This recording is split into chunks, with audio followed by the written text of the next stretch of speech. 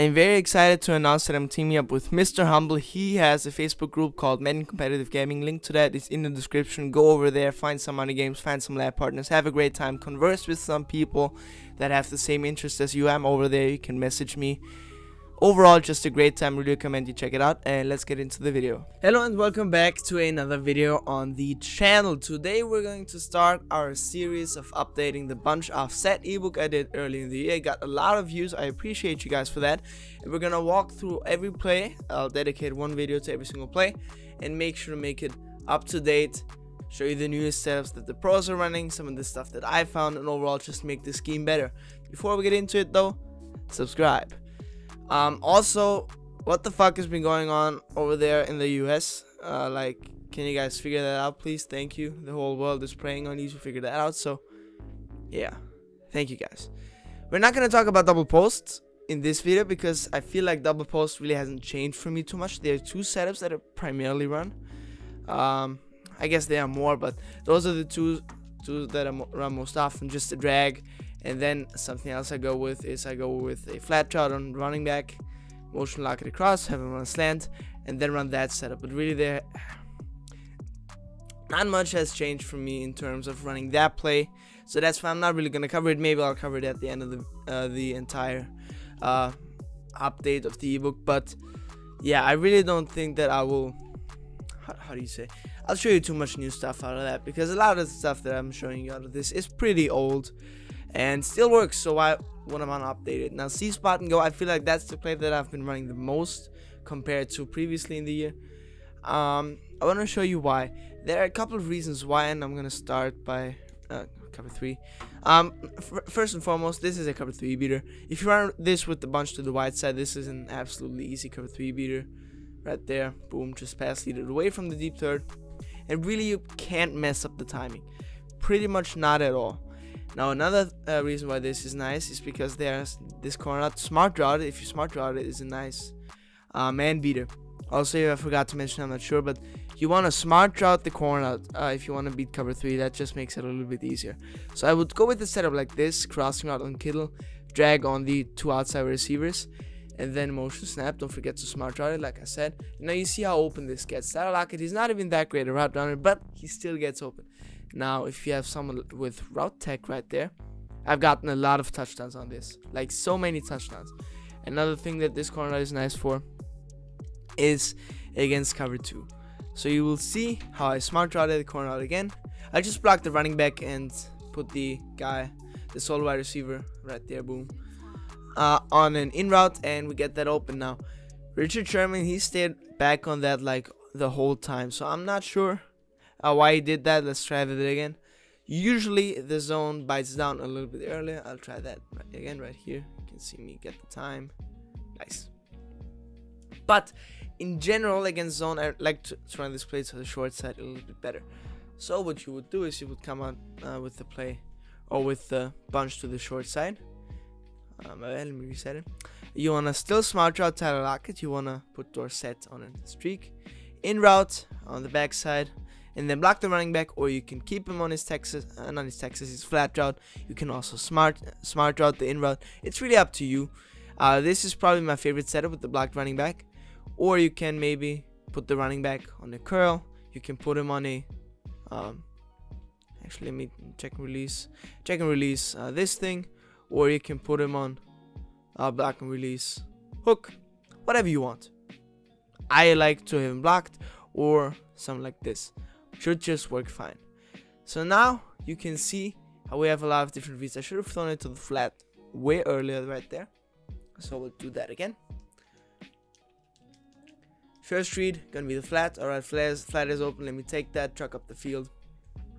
Truck some cornerbacks. Uh, George Kittle almost went animal right there. Um, but yeah, this is the setup. It really is simple. And one of the nicer things about this is actually, let me uh, uh, this was not to show off uh, what's nice about it. A lot of people uh, change their zone drops for gun bunch. They go to 25 yards on the curl flats, and if they do that, let me actually just do it real quick. 25 yards, just like that. And now if they do that, this corner out smart route will get underneath that. That is the thing that is very annoying about this. So, seize button go. You will see how this corner out gets underneath it. It's not going to get played by the curl flat at 25 yards. Now, let's change uh, the zone drops to 10 yards if we just um, make sure that they play the sticks. And now you will see how the uh, curl flat is going to drop down way, way shorter. And now if I roll out and get the time, you can see how this also gets open. So, what do we learn from that? Our opponent really has to be precise with his curl flats just to stop that one play. And then of course, if he changes the curl flats to stop this play, we can attack him with some other plays. For example, the zone drops that I found to back this best is 15 to 20, depends on what that my opponent has been showing me. If he more so wants to throw it underneath it, then I'll go to 15 yards.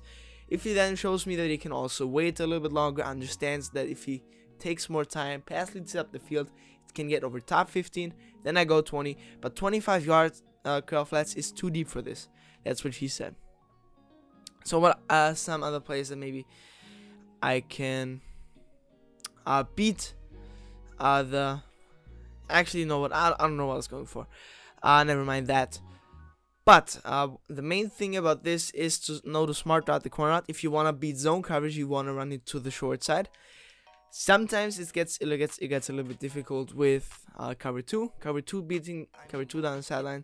Sometimes it's a little bit more tricky. You want to make sure uh, that you uh, either your opponent plays aggressive flat zones, or you will have to uh, go to the wide side uh, to attack cover two. Yeah. One more time. Just gonna show you that it's there. But this entire play really hinges on the idea that the corner out attracts so much attention and everything else is just there to facilitate it. And generally the other routes on this play do not beat anything. They are just there for your if your opponent wants to really adjust heavy uh, to cover that corner. For example, one thing that your opponent might do is he might put a hard flat out there, go something like this. Now it is on us to understand, okay, um, the right side is not going to be there. All right, let me look to the left, check it down, uh, get some extra yards. Make them defend the right side of the field and then attack them left. That is the idea behind this play.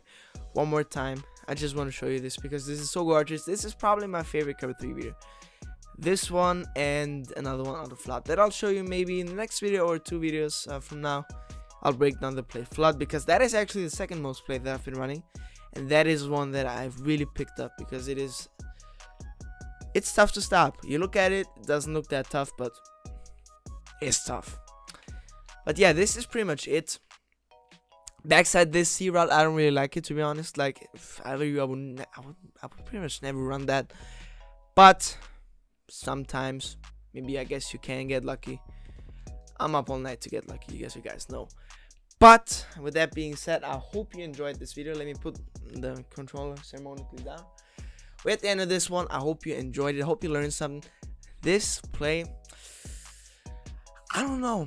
I don't know if it's top two or top three. Definitely competing with Flood. I think double post still is the main play. But this play right here, I don't know why a lot not more people are running it. This is probably the thing that se uh, separates a lot of people running bunch offset a lot of people only know double post. They might also know pa oh what's it called? Ah i'll have to look it up. Ah, i'll have to look it up. Here. okay pa dig fork. They might also know pa dig fork but the people who are really good they absolutely use this play. They use flood. And if i were you i really get i would get on, get on this i can't speak right now I would really go into practice mode, try out the different rock combos, see what works for you, get the pass lead down. But for now, I'm outie. I appreciate you taking the time, and please fix whatever is going on in the US.